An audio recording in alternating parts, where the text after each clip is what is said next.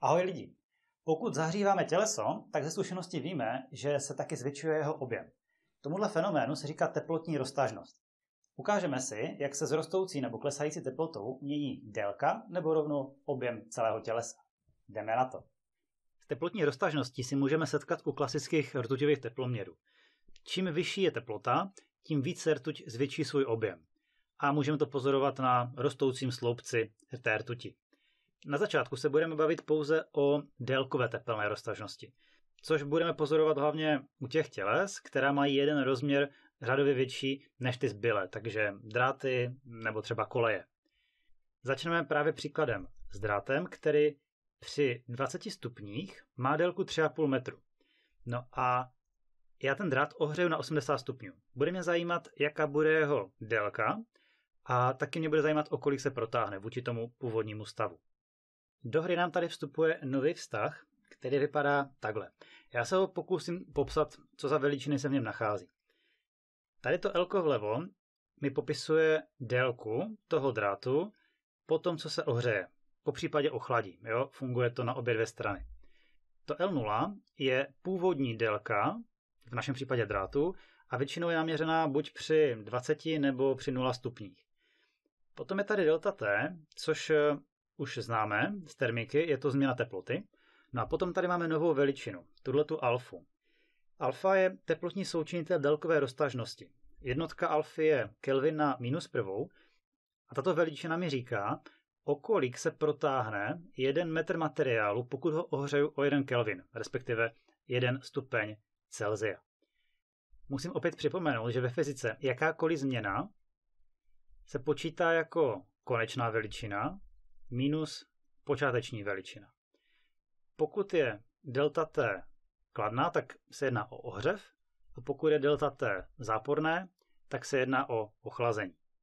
Když mu konkrétně náš případ, tak eh, ten drát je ocelový a alfa ocele se rovná 1,2 krát 10 na minus pátou Kelvinu. Kelvinu. Což v desetiném zápise se dá taky zapsat jako 0,0, no prostě 4 nuly, 12 Kelvin na minus prvou.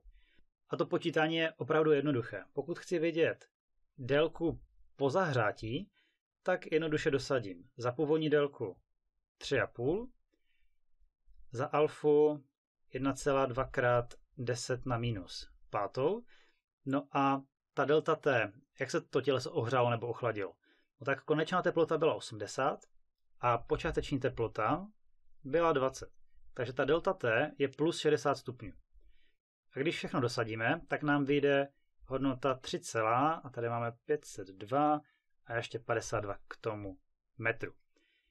Což když to převedu na trošku srozumitelnější jednotky, tak je to 3,5 metru a ještě 2,5 mm k tomu. Což tak trochu odpovídá na naši další otázku. O kolik se ten drát protáhl? Na tuhle otázku nemůžu odpovědět přímo z tohohle vzorce, ale to protažení, které můžu tady označit jako delta L, se počítá jako rozdíl té konečné délky minus ta původní. Což když tady dosadím, že to je 3,502,52 k tomu, minus 3,5, tak nám vyjde, že to prodloužení je právě těch 2,5 mm. Máme tedy popsanou délkovou teplotní roztažnost. Těleso s jedním hlavním dominantním rozměrem a vím, jak se tenhle ten rozměr mění podle toho, jak měním teplotu. Když půjdeme o úroveň výš, tak narazíme na objemovou teplotní roztažnost. Tahle ta roztažnost mi popisuje, jak se mění objem s rostoucí nebo klesající teplotou. Ukážeme si, jak tahle ta roztažnost souvisí s tím, co už umíme, s délkovou teplotní roztažností. Mějme třeba tuto kovovou krychli a ta má při teplotě T0 hranu délky A0. No a víme, že objem takovéhle krychle by se dal spočítat jako A0 krát A0 krát A0, tedy A0 na třetí.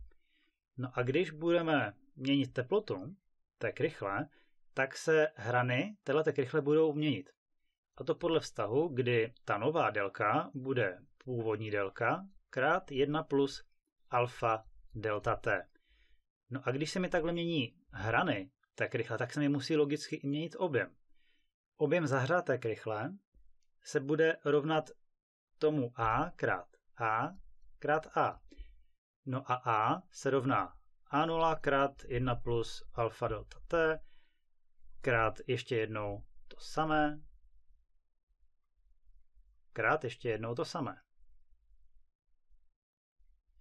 No, což znamená, že já si ten objem můžu popsat jako A0 na třetí krát 1 plus alfa delta t na třetí.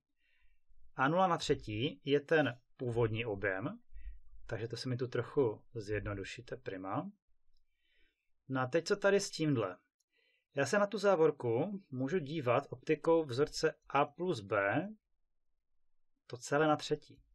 A tenhle ten vzorec se dá rozepsat jako A na třetí plus 3 A na druhou, B plus 3 A B na druhou plus B na třetí. No ale protože takhle dlouhý vzorec je celkem otrava, tak se využije jednoho zjednodušení. Zde ten součinitel délkové roztažnosti alfa je hodně malé číslo. Takže čím více roste jeho mocnina, jo, ta alfa je schovaná vlastně v tom Bčku, tak tím ten člen je menší a zanedbatelnější. Tím pádem tomto vzorci se ty poslední dva členy zanedbávají a já si můžu napsat ten vztah ve tvaru 1 na třetí, protože a na třetí, 1 na třetí je 1, takže to tu může zůstat, plus 3 krát 1 na druhou, což je teda 1, krát b, což je alfa delta t.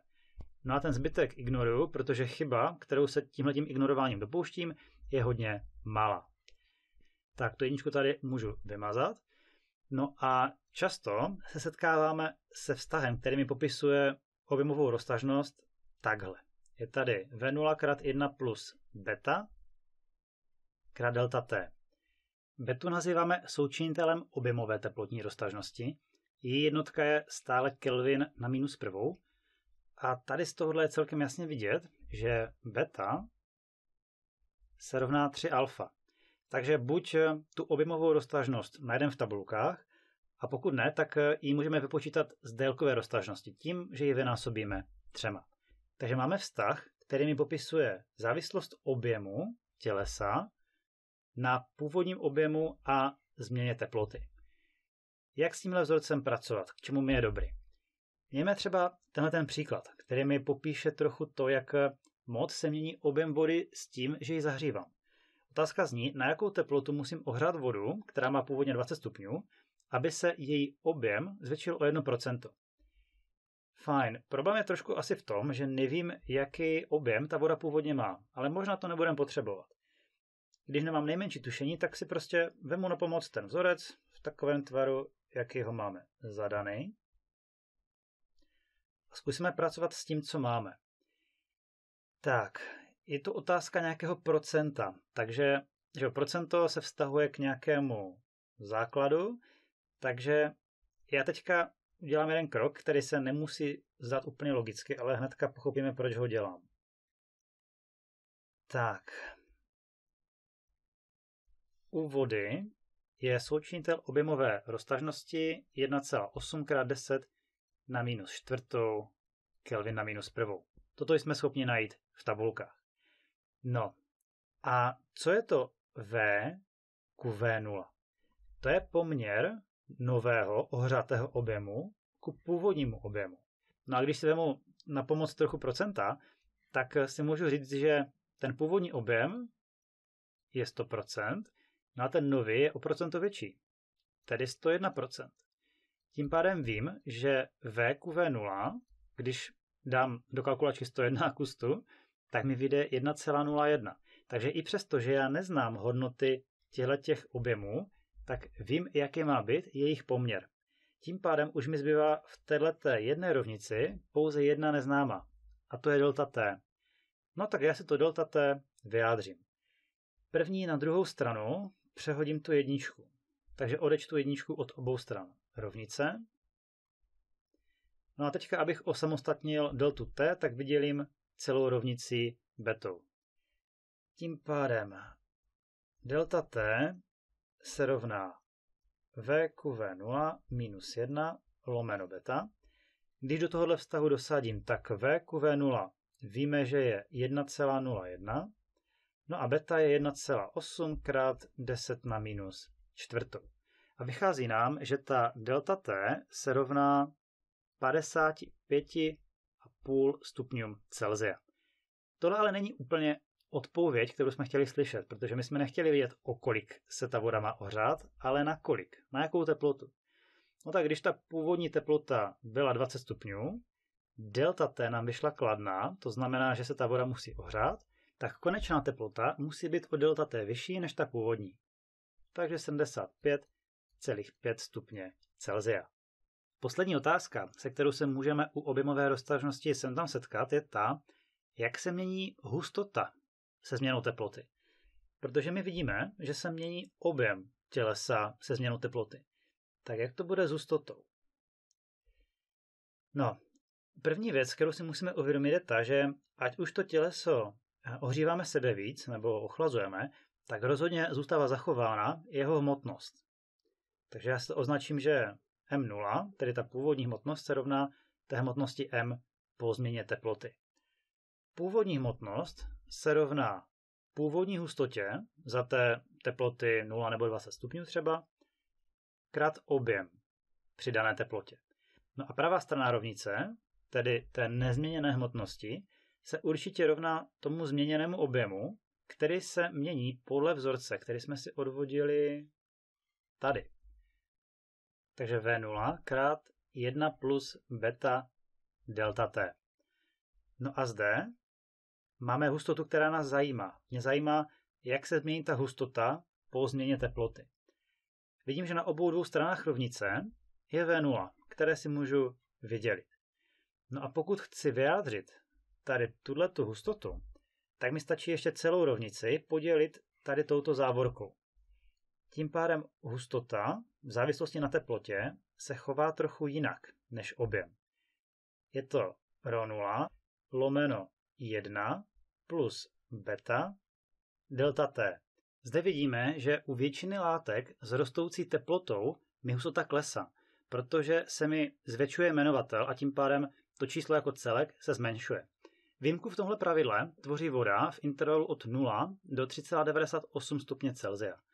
Tomu se říká anomálie vody, kdy v tomto intervalu, když se blížím těm 3,98, tak hustota té vody roste od 0 těm 3,98.